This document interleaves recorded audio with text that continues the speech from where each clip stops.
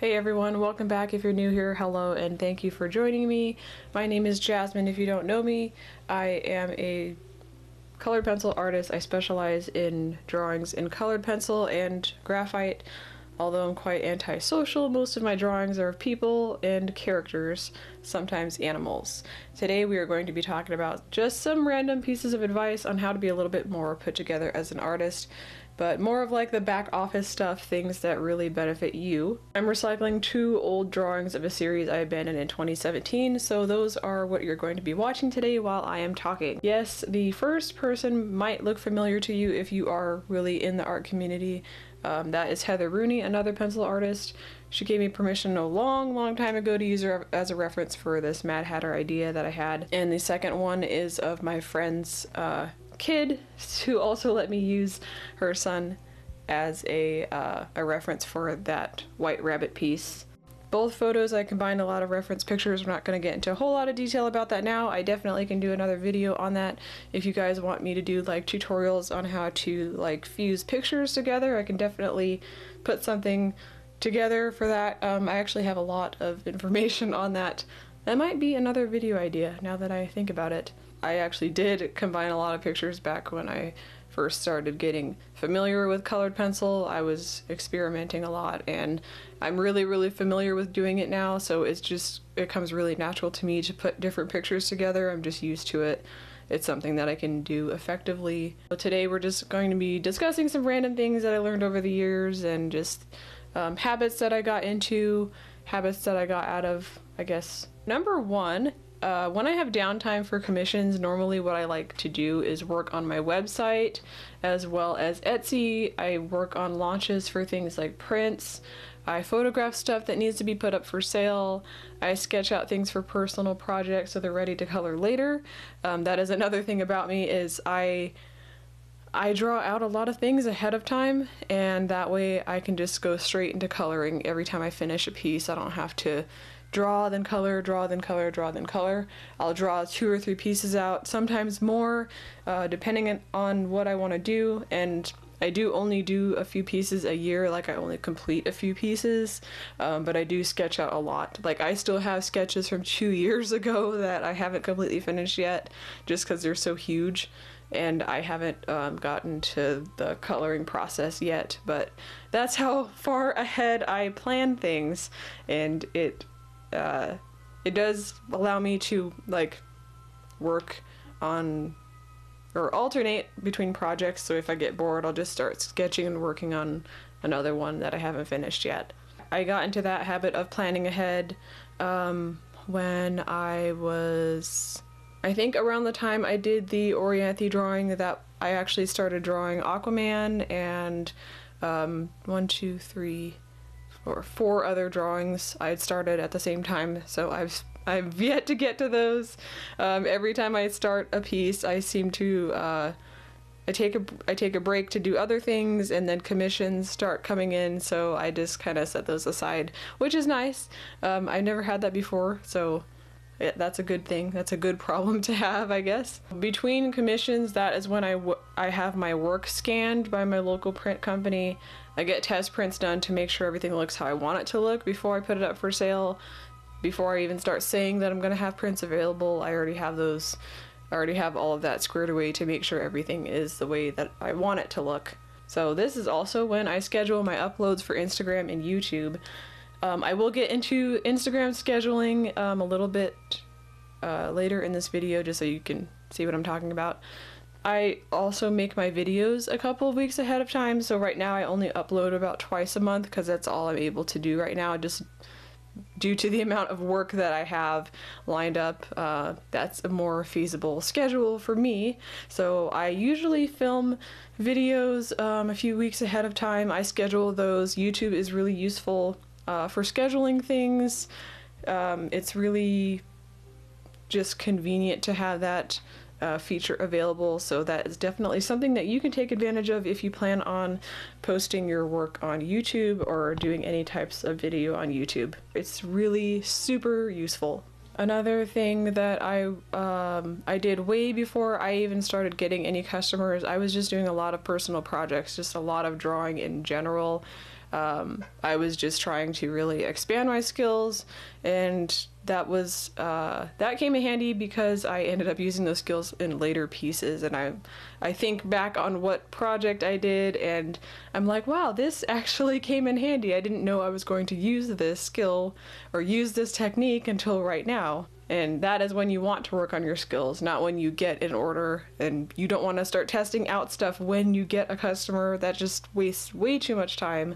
You want to work and do what you're familiar with when you finally do get your customers. You also want to make sure you set up pricing uh, before you do anything. Uh, that way, you sound like you know what you're talking about when you give people prices on things and you don't you sound more confident when you're uh, stating your rates to customers. I do highly recommend having that all set up and squared away, calculate all of that as well as shipping.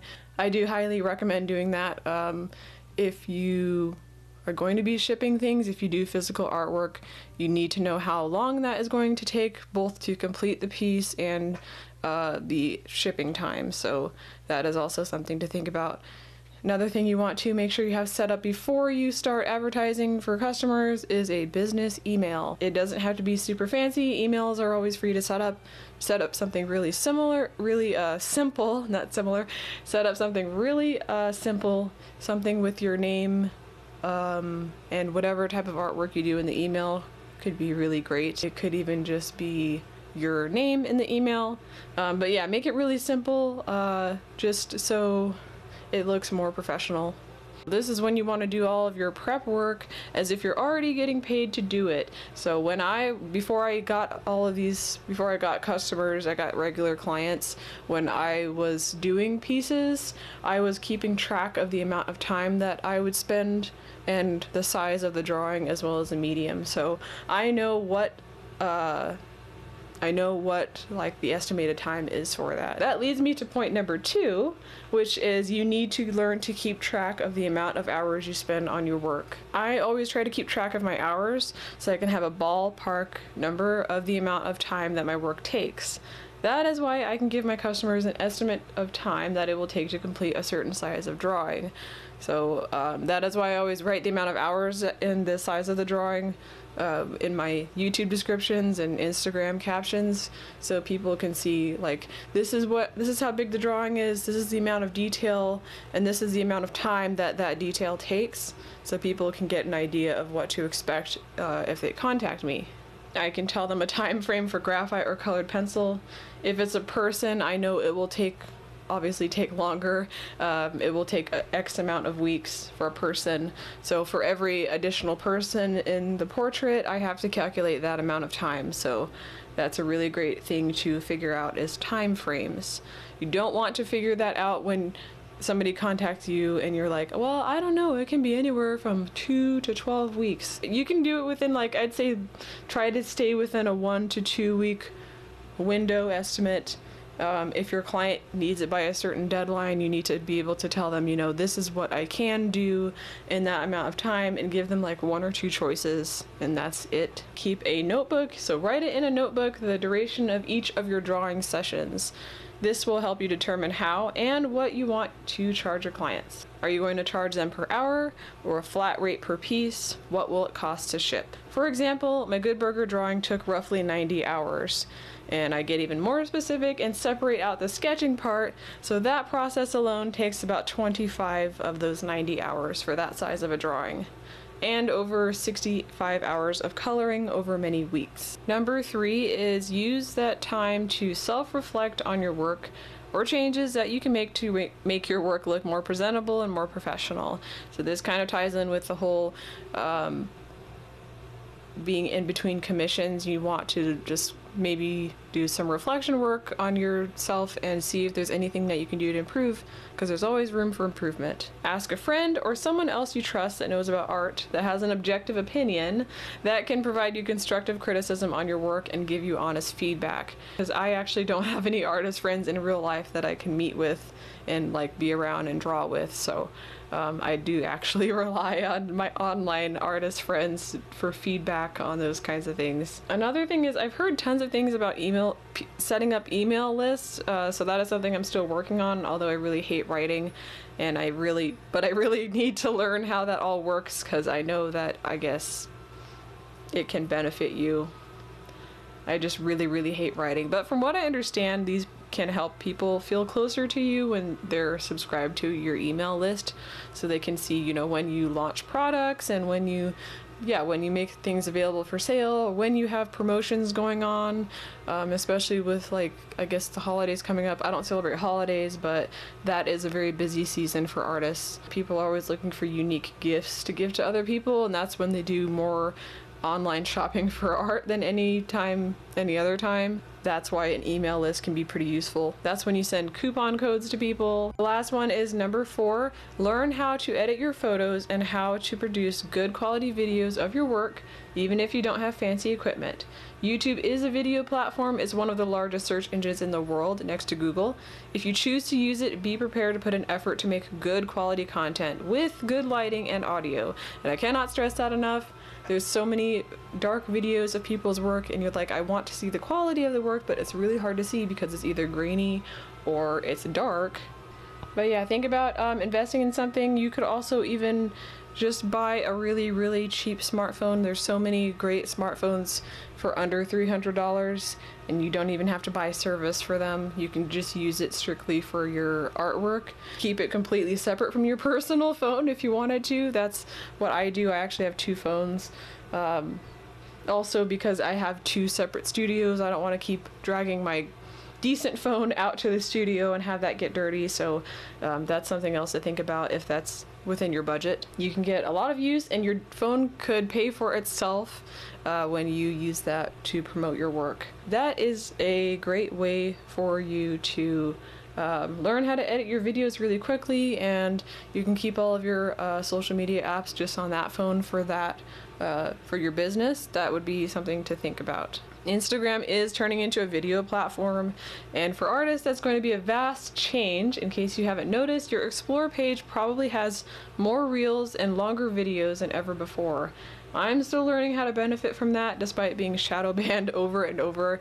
I'm still trying to figure that whole thing out. It's always changing, the algorithm changes, and it seems to favor my memes that I make over everything else. That it has been a little bit frustrating. So about um, the whole Instagram scheduling thing, like I was talking before about that just uh, earlier in this video. So Instagram is useful, but if you want it to uh, really benefit you, I would suggest putting your account as a business account. Um, there's no cost to do that. But this way you can look at your insights, kind of like on YouTube, how you can look at analytics. And Instagram has insights, and you can see when your followers are most active because everybody's audience is different. And you can also see what is the best day and the best time of day to post. Also, look at details on which posts are doing the best. So you can plan accordingly and a useful app that I have is called Planoly. Uh, Planoly is a free app that you can download. You can also uh, use it on your computer if you want a bigger screen. I really like using it on the computer because I can edit my pictures and make sure um, before I import everything, I can look at the whole Planoly calendar and plan accordingly. I'm going to leave in the description box a link for you to uh, look into Planoly. Like I said, it is a free app, but they do have paid ones where you can get a lot a lot of bonus features uh, so if you want to be able to auto post a lot in a month, then I would suggest getting one of the paid ones. If you don't post a lot, the free one is definitely enough for you. Also, if you want to auto post videos, you should get the paid one. So if you plan on uploading a lot of videos, that is going to be a really um, a really interesting feature, and it will save you time. You you can plan videos and posts ahead of time for as long ahead of time as you want. Like you can do it one to two months in advance. It will save you a lot of time. You can get that all done in one session. It's super convenient and I really enjoy using it. But yeah, definitely look into that. And I think the uh, yeah, the basic one is free. Uh, you can choose Pinterest or Instagram, and then the paid one you can link multiple social media accounts. So if you have more than one Instagram account, as well as Facebook, Twitter, uh, Pinterest, then you can plan all of that using the uh, the upgraded version. I try to upload two Fridays a month as far as YouTube goes, uh, so it's like every other Friday right now. When I do make videos, I don't want to compromise the quality of them just to upload more frequently. So uh, you can turn on post notifications if you really like hearing me talk, freaks, or if you just want to be able to listen to something while you're drawing, I guess. Uh, people like listening to my voice, which is really weird, but you know, I'm not even going to talk about that. You can follow me on Instagram at jasminebaker.artist. I've also included the link to my Etsy shop where you can get prints of my monochrome main charcoal piece that I did last year. Uh, these prints are extremely limited edition. They are on satin finish paper. Once they are gone, they are gone. So it is available in two sizes. There's 20 of each available. They are hand signed by me and done through my local print shop, so they ensure high quality work before I receive them, but I personally pack and ship them myself. I will see you guys next time, and I hope you enjoy the feature film. Bye!